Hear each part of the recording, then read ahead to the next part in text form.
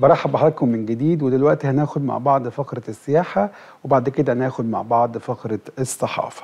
النهاردة عندنا في فقرة السياحة والآثار بيبقى الواحد مبسوط جدا وهو بيتكلم عن تاريخ وآثار مصر. طبعا إحنا لو قعدنا سنين نتكلم عن الآثار اللي موجودة في مصر مش هتكفي. حاجة جميلة وتراث عريق جدا فيما يخص الدولة المصرية.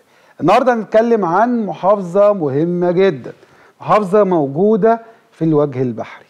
شكلها على الخريطة شكل غريب فيها عدد كبير من المحافظات اللي مش قريبة من بعض. حتى شكلها في الخريطة يعني محافظات في كل مكان كده. اتكلم عن محافظة عريقة على مر العصور. اتكلم على محافظة جميلة فيها مميزات حلوة جدا. فيها بعض الأمور الحديثة والقديمة المميزة. النهاردة نتكلم عن محافظة الدقهلية واللي عاصمتها المنصورة. عشان النهارده نتكلم باستفاضة عن محافظة الدهلية.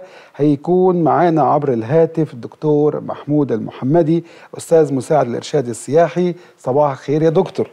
صباح الخير يا أستاذ مايكل وسعيد جدا إن أنا موجود مع حضرتك وصباح الخير على السادة المشاهدين وتحياتي لحضرتك. وبجد اختياركم للموضوعات الجميلة دي حاجة رائعة جدا بتسليط الضوء على أهم الأماكن الأثرية في جمهورية مصر العربية لتنشيط السياحة الثقافية والترفيهية. بجد اختيار حضرتك وإعداد الاعداد عند حضرتك إعداد متميز ورائع. فاسمح لي أنا يعني أبدي تحياتي لحضرتك. أنت دايما مشرفنا دكتور في صباح. مين أشكر حضرتك يا أستاذ مايكل في البداية يا فندم هنتكلم عن محافظة الدهلية وزي ما قلت من في البداية قلت المحافظة مراكزها كتيرة وشكلها على الخريطة. هنعرف الناس المنصورة موجودة فين أو الدهلية موجودة فين وعدد مراكزها وشكلها على الخريطة. طيب تعالى نقول إن تقع محافظة الدهلية شمال شرق دلتا مصر. عاصمتها مدينة المنصورة زي ما حضرتك قلت بيبلغ عدد سكانها 6 مليون نسمة مما يجعلها أكبر المحافظات سكانا. طيب تعالى نعرف إيه ليه اتسمت الدقهلية. الدقهلية ديت اسم قرية اسم كانت موجودة عندنا اسمها الدقهله وهي دلوقتي للأسف تابعة لمركز زرقاء محافظة دمياط. علشان كده اتاخد من دقهلة ديت اسم الدقهلية وتم تسميتها بمحافظة الدقهلية. طبعا بنقول عندنا إن مساحة محافظة الدقهلية تخيل عندنا حضرتك مساحه محافظة الدقهليه زي ما حضرتك قلت كده من شوية الشكل بتاعها غريب شوية.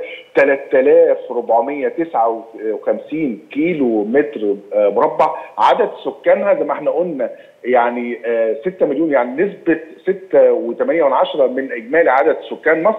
زي ما حضرتك قلت من شوية المدن بتاعتها كبيرة. عندنا أكثر من 19 مدينة 15 مركز آه يعني أهم المراكز اللي موجودة فيها الجمالية اجا السنبلاوين يمكن يا دكتور لما بنبص على الخريطة بنلاقي أول مراكز المنصورة من بعد 100 غمر وآخر المراكز تقريبا عند المنزلة عند بورسعيد ودمياط. بالفعل يا فندم أكثر من 120 كيلو حضرتك يعني مسافة كبيرة جدا. فعلشان وخلي بال حضرتك كمان اللي بيحدها من الشمال عندنا البحر الأبيض المتوسط عندنا 60 كيلو متر موجودين على ساحل البحر الابيض المتوسط طبعا موجوده على فرع نهر النيل دمياط مما يجعلها أصلا يعني تكون مدينة زراعية. في نفس الوقت عندنا حرفه الصيد موجودة فيها. صح. فطبعا ال ال الاقتصاد الخاص بهذه المحافظة اقتصاد متنوع من زراعي صناعي كمان صناعة السيارات والتصليح حاجة مبهرة. بالفعل يا فندم يعني عشان كده جعل إن هذه المدينة هي ملتقى الكثير من الطرق من مجعلها اللي هي تكون زي ما بطلق عليها كده سيدة التاريخ. ليه سيدة التاريخ؟ لأن حضرتك تعال نشوف على مر العصور إن هذه المحافظة منذ عصور ما قبل الاسرات طبعا هي أول مكان لقينا فيه آثار بتدل إن كان في إنسان مصري قديم يعيش على هذه الأرض منذ عصور ما قبل الأسرات وده اللي تم عندنا في منطقة غزالة. لقينا نتخيل عند حضرتك إن كمان عرفنا كمان إن هؤلاء الشخص ده أو الانسان الإنسان اللي كان قاعد في المنطقة دي عارف الصناعة واللي هو ابتكر الصناعة طب عارف صناعة إيه؟ عارف صناعة الألبان أو مشتقات الألبان لقينا عندنا أقدم مصنع لصناعه الجبنة في هذه المنطقة. تعالى كمان نشوف إن تاريخ المحافظة دي برضه قبل ما نخش في المواقع الأثرية التاريخ بتاعها بيقول إن المحافظة ديت كانت هي حائط الصد ضد غزوات كتير جدا. أولها اللي هو طبعا كان عندنا فيه جيش كبير جدا جاي من الناحيه من الناحيه الشرقية بقيادة قمبيز وده كان جاي من بلاد فارس. فطبعا يطلع عندنا واحد اسمه احمس الثاني أو أمازيوس بيوقف في الأسرة 26 بيوقف الجيش ده وبيقضي على الجيش ده. تعالى كمان عبر التاريخ بنلاقي كمان إن معركة المنصورة والوقوف أو صد خطر الجيش الفرنسي الأوروبي اللي كان جاي عشان يحتل مصر برضه بنلاقي معركة المنصورة اللي كانت موجودة في 1200 آه 258 بنلاقي عندنا كمان في العصر الحديث معركة المنصورة الجوية اللي في 14 أكتوبر سنة 1973 واللي كانت ملحمة جوية ملحمة يعني لغاية دلوقتي العالم كله بي بيشهد لها إنها أكبر معركة جوية دارت في التاريخ بعد معركة آه بعد المعركة بعد الحرب العالمية الثانية فبنقول عندنا اللي مدينه محافظة الدقهليه محافظه زاخره بالتاريخ بتاعها مما جعلها اللي هي تكون وتحصى على لقب سيدة التاريخ المصري. تعال ما نشوف بقى يعني نسرد مع بعض ال ال ال ال ال ال الأماكن الأثرية اللي موجودة. تخيل عشان التاريخ اللي موجود عندنا ده المتعدد من عصور ما قبل التاريخ إلى العصر المصري القديم إلى العصر اليوناني الروماني إلى الفترة القبطية إلى الفترة الإسلامية إلى العصر الحديث بنلاقي عندنا خلفت تلك الفترات المتعاقبة على تاريخ محافظة الدقهليه أكثر من 52 موقع أثري بيرجع لحضارات المختلفة اللي مرت على أرض محافظه الدقهليه طبعا بيخليها اللي هي تكون أرض خصبة للسياحة الثقافية اللي طبعا للأسف ما لهاش تسليط للضوء. يمكن صحيح. يعني حضراتكم بتسلطوا الضوء على هذه السياحة المتميزة. بنقول عندنا مواقع أثرية من بداية من تل الربع منديس إلى تية مال الأمديد لتل دكتور معلش إحنا هنقول المواقع دي ونقول إن هي موجودة ولا مندثرة؟ ونقول كمان أماكنها فين دلوقتي؟ طيب تعالوا نشوف الأول عندنا آه ناخد يعني مثلا تل الربع. تل الربع ده بيبقى موجود آه هو لغاية دلوقتي موجود طبعا بيقع في زمام قرية تل الربع التابعه لمركز تميل الامديد طبعا بيبلغ مساحته آه 230 فدان. تخيل حضرتك 230 فدان. كبير جدا. آه كانت تسمى عند قدماء المصريين باسم آه عنبت. وطبعا كانت هي عاصمة الاقليم الإقليم ال 16 في مصر القديمة وكان يرمز لها بالسمكه محت وأصبحت في الدولة آه في الأسرة 26 عاصمة لمصر على يد ابنها. طبعا الابن احمس الثاني مخلص مصر من الاحتلال الفارسي وبتضم الكثير من الآثار المختلفة اللي بتحكي عظمة هذا المكان ومنها الناووس اللي بيبجل ويمجد المعبود مندس اللي هو الكبش با نب جيت. طبعا بتمثل هذه المنطقة اللي كانت طبعا تعتبر أهم المناطق الأثرية في أيضا عصر الاسره 29 تخيل إن مصر يعني كانت تحكم أو كانت عاصمة مصر في هذه الفترة في الاسره 29 كانت هذه المنطقة وحكمت مصر يعني في قرابة 20 سنة وكان أول ملوكها نفرتيس أو أو نايف عو رد وبعدين كمان عاد خطر مقاومة الفرس مرة أخرى وطبعا قاموا ب كفاح وأيضا بالدفاع عن الأرض الباسلة. يمكن كمان من عندنا من عند أهم الآثار اللي موجودة اللي عندها في عندي بعض المظاهر اللي موجودة بعض بقايا معبد بناه الملك احمس الثاني من الاسره 26 أيضا برضه لما جه عندي رمسيس الثاني وابنه برنبتاح قاموا بعمل بعض الترميمات الخاصة بكبش مندس. يمكن من من الآثار اللي موجودة أيضا في محافظة الدقهلية ويمكن بينها وبين تل ميل تل الربع. بعض الخطوات البسيطة هو تل تمي الامديد أو تيموس ويسمى حاليا تل ابن سلام. وكان بيعرف أيضا زمان باسم بميناء التماسيح لأنه كان بيقع على الفرع النيل المنديسي اللي اندثر تخيل بقى حضرتك اللي إحنا في المنطقة ديت كنا بنعمل عندنا مصانع لصناعة الجاعة. وتصنيع العطور. تخيل لما كان بيخرج مصر كانت بتصدر لأوروبا وبتصدر لليونان والعالم كله العطور وكان وكانت تختم بختم صنعة في مدينة منزل أو صنعة في مصر. طبعا آه هذه المنطقة كانت تزرع بالقمح لدرجة إن هي كانت دلتا يعني يعني بالقمح اللي فيها بيغطي منطقة آه روما بأكملها. عندنا كمان يعني ناحية ميت غمر في عندنا تل مشهور قوي بس ما حدش واخد باله منه. هو تل آه المجدام أو تل حيسي وطبعا بنقول المدينة ديت كانت عاصمة مصر في أو اللي هو عاصمة الإقليم ال11 من أقاليم مصر العليا. وطبعا كانت فترة الحكم البطلمي وكانت بتحكم المحور الشمالي الجنوبي للفرع المنديسي وهي كانت طبعا يعني نقطة اتصال وكان طبعا بتسمى مدينة مع حيسي نظرا للكبش أو الأسد اللي كان أحد معبودات اللي كانت موجودة فيها. آه بنقول بنقول آه آه يعني لغاية دلوقتي في بعض الآثار اللي موجودة وبعض المقابر اللي بتعود إلى فترات متعاقبة.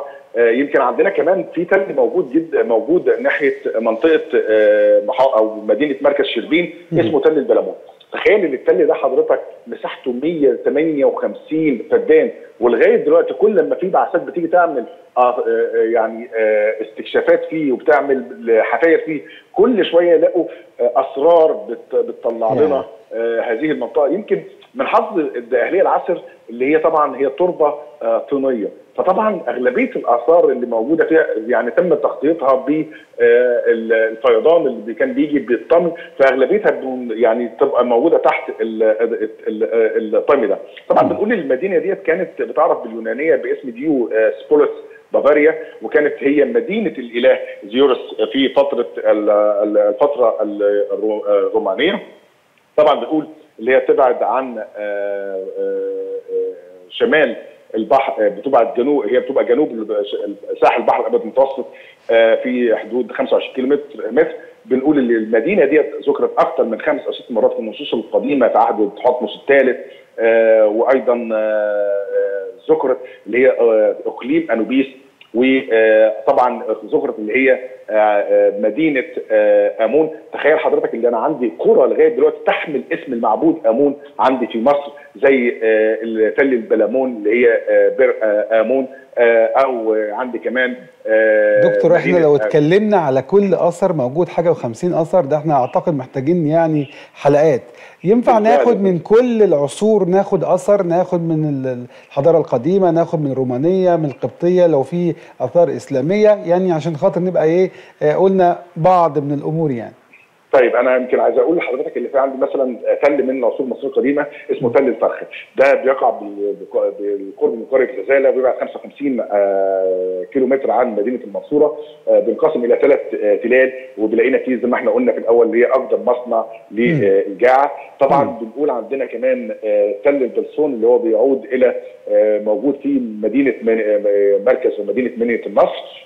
كمان عندي كمان تل الكبير اللي موجود شمال عزبة الكردي وأيضا كمان عندي من العصور دكتور أنا ملاحظ إن حضرتك كل شوية بتقول 100 100 100 سلسيل منيه النصر يعني ليه كلمة 100 دي بتتكرر كتير؟ ما هي كلمة 100 أصلا هي كلمة كلمة يونانية بمعنى معنى مدينة فتم إطلاقها معنى إيه يا دكتور؟ معلش مدينة مدينة مدينة. آه. فتم إطلاقها على هذه المنطقة. يمكن كمان عندنا كمان من الآثار اللي موجودة جد جميلة جدا اللي موجودة عندنا بترجع إلى الحقبة المسيحية. عندنا دير ست ستنا دميانة أو قديسة دميانة في في منطقه بالآس بدميانه وعندي كمان دير ماري جرجس في منطقة ميد دمسيس ويمكن عايز أقول لحضرتك إن هذه أو محافظة كانت يعني حظت وتشرفت بإن رحلة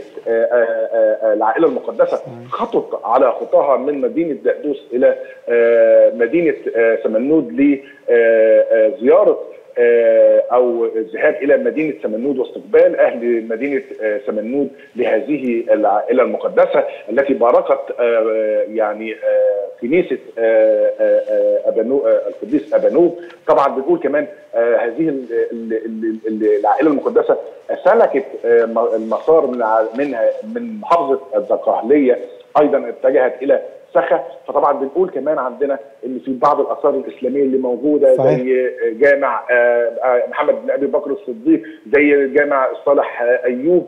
أيضا كمان عندي مجموعة كبيرة جدا جدا زاوية الأمير حماد في المنزلة.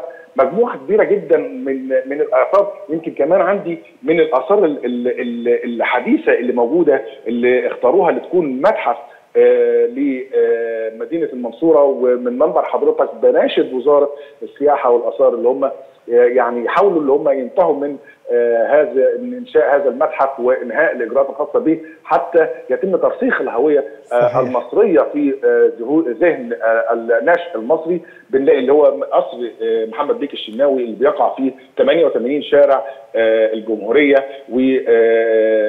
والقصر ده تم بناؤه سنة 1928 على إيد فنانين وعمال إيطاليين بإشراف إيطالي لدرجة إن بعض الأجزاء اللي موجودة فيه البوابات اللي موجودة فيه تم استيراد استيرادها من إيطاليا.